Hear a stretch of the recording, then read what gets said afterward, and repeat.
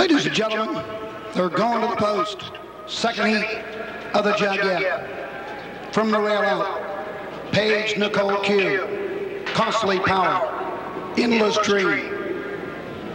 Faded Glory. Ain't no stopping me. Low Places. Middle March. Ladies Melody. And the trailer on her way. Nine of the sport's finest three-year-old filly pacers in behind the great coon starting gate. The gate swings into this track channel.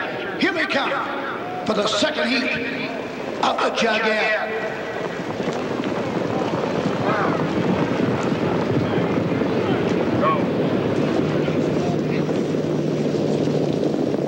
And pacing going for lead. Ain't no stopping me on the outside. He into the turn, ladies melody four wide. He into the turn, off stride, low places.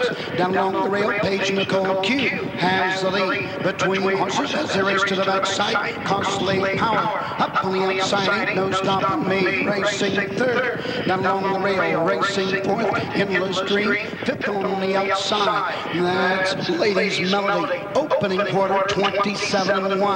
Into the turn, faded glory, racing down along the rail. Now six, racing seventh into the turn, endless dream.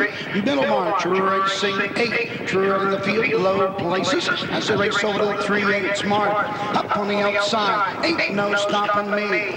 Rough trip here, down along the rail. Paige Nicole Q. With the lead. as they race over to the halfway point. Racing third, Costly Power. Halfway home, 56 seconds, 28 and 4. Second quarter, Paige Nicole Q with the lead. Up on the outside, ain't no stopping me. Second, Costly Power down along the rail. Third, in the turn, the outside ladies, Melody is fourth. Nowhere to go, on her way, racing fifth. Faded Glory up on the outside six. Endless Dream on the outside seven.